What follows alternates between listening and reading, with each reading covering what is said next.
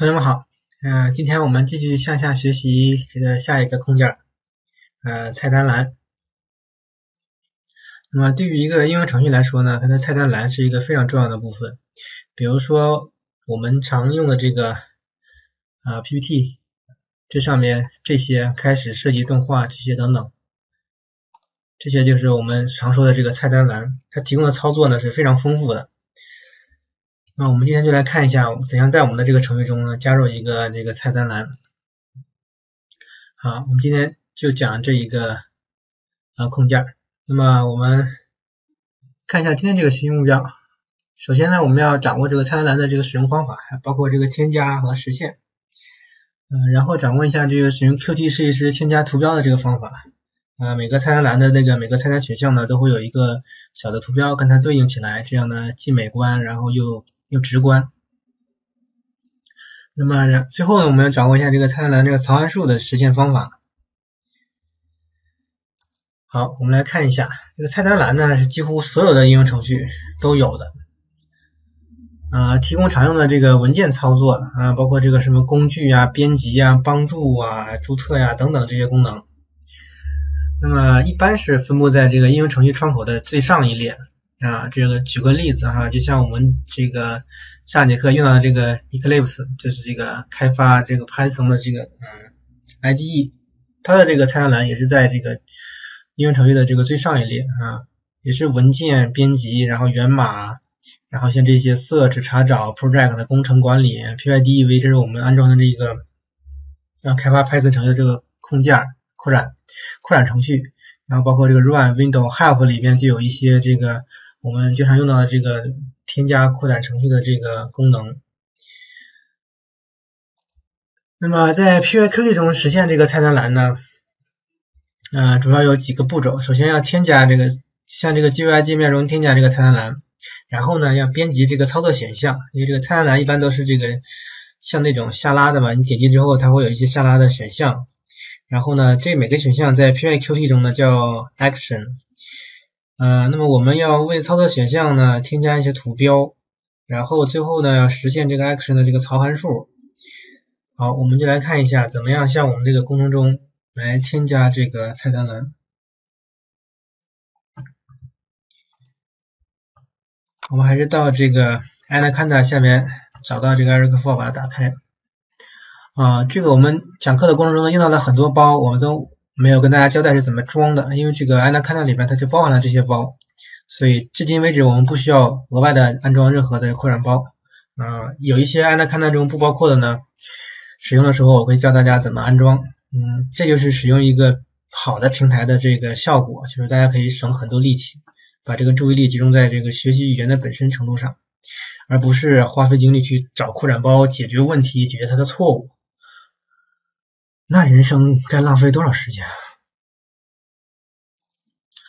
打开这个 UI，嗯，这小子老师打开的很慢啊。打开之后呢，我们来看一下这个菜单栏呢，我们说它也算一个空件，但是我们来找一下，在左边，呃，layouts、spacer、buttons，还有 item views、item widgets、containers、容器、input widgets。输入控件还有 display widget 显示控件哈，找了一圈发现没有这东西，那怎么添加呢？我们选择我们这个主界面就是这个 main window，在上面单击鼠标右键，OK 看到了没？第一项创建菜单栏，好，我们点击它，OK 我们发现这个整体这个画面布局被往下推了一点啊，这个菜单栏硬挤了上来，在这个。呃，我们 GUI 布局的这个最上一层啊，它默认就是在这一层。点击这里输入，那么我们点击一下，双击哈，双击之后，菜单栏的一第一项一般都是文件，然后敲回车，OK，发现了产生了一个变化，它下级这里又提示点击输入，那么右侧这边还是有点击输入，也就是说你可以实现文件的下一级操作。我们还是双击，比如说文件最常用的就是打开嘛，打开之后呢，这里边还有关闭，然后这个保存，然后文件这边还有退出，好，那么常用的这四个操作是一定会有的。嗯，然后我们再来看看这边一般会有这个编辑，编辑下边会有这个复制、粘贴，还有这个剪切啊等等这些操作吧。然后呢，这边呢，我们再给它实现一个这个。什么工程，然后打开工程，还有创建工程，那么就还有这个导入工程，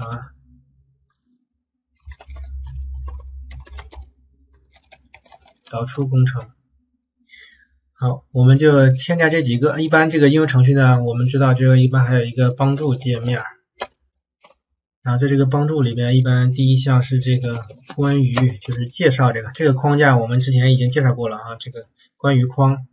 然后在这里什么这个使用说明，然后再来一个什么注册，还有什么联系我们等等等等这些都可以实现。那么敲完这些之后，我们保存一下这个界面，回到 ArcFlow 里面编译一下。好，然后我们来看一下我们这个开始菜单做出来是一个什么样的效果。代码大大大，然后运行。OK，在这个第一栏看到我们这个开始菜单。好，点击文件，下面打开、关闭、保存、退出啊。当然了，我们有这个藏函数，所以这个哎呀花拳绣腿只能看啊，没有什么实际的功能哈。复制、粘贴、剪切、工程、创建、导入、打开、帮助、关于、注册、联系我们。好，那么我们接下来看看这个怎么样给这个我们新加的这些操作给它附上一个小图标啊。就是我们 PPT 里边讲的这个为操作前项加图标，这个 action 我们刚才已经加完了，就是每一项都做什么。图标，我们看一下，打开这一项，嗯，要在它的这个属性里边找。那么当然了，找属性之前，我们肯定要把这个资源添加到这个资源管理器里边。好，我们先看一眼这个属性在哪。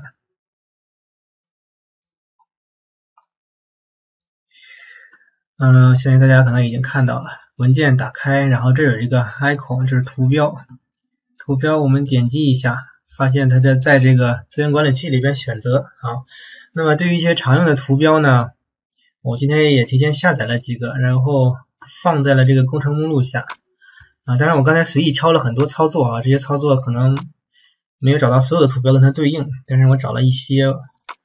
常用的这个，在这个 icon 这个文件夹里边啊。比如说这个关于啊，就用这种图标，这个信息框，然后这个购买，help 帮助，key 是这个注册框，open 是打开，play 是这个播放，quit 是这个退出。那么我们还是先把这些加进我们这个资源管理器里边，然后我们在这个下面再添加文件。把这一串都给它加进去，OK，加完了。好，我们这个图片虽然存放在不同路径下，但是它这个先加的时候可以加在这同一个前缀下。但是呢，在这个 icon 文件夹中的这个图片呢，都会有一个相应的这个前缀。那么这个图标文件呢，大家注意要去网上下载，这些图标我都是从网上下载的，下载这个 PNG 格式的。如果你不幸下载了这个 JPG 格式的话，你自己下一个。图片格式转换工具把它转换成 PNG 格式的，好，那么这边呢就可以给这个打开文件，好，赐它一个图标，在这里边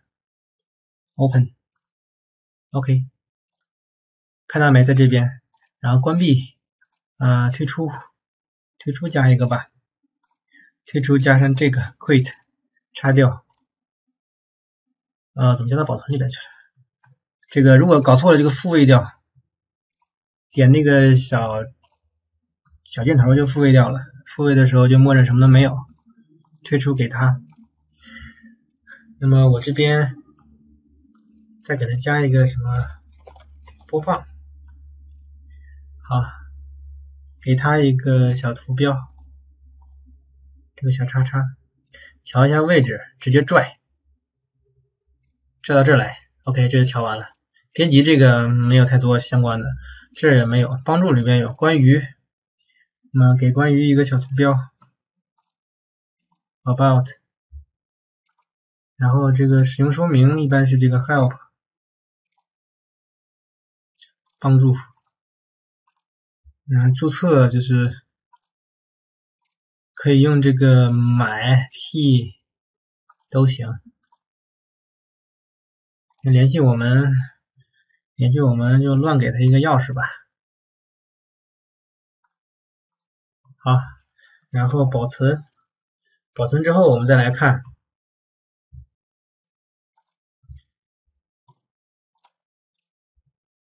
好，编译成功，证明没有问题哈。没有问题之后，我们再来看运行。嗯，文件，打开，播放，关闭，保存，退出。嗯，啊，忘了编译资源了，所以看不到图片。好，这个一定要注意，把这个资源编译完了之后，再来编译这个界面。然后再来运行，不然看不到我们新加入的图片。好，文件打开，播放、退出都有图标，编辑这边没加，帮助这边关于使用说明、注册、联系我们这都有了啊。那这样看起来呢，就就美观多了哈，因为就加一个小图标之后呢，呃，符合一般 GUI 程序设计的这个原则，就上面前面加一个图片，免得那么生巴巴的，像这种看起来这个。很 low 啊！好，这个图片我们也加完了，但是我今天找的图片不够多哈，大家可以按照自己喜欢的模式自己往里加，这个就不在这里演示了。那，我们再来看这个实现 action 的这个槽函数，这个怎么实现呢？这个应该就算是老三样了，在这里面，我们刚才那些呢，所有的东西都叫 action，所以呢。这个发射信号就是这个 action 这个，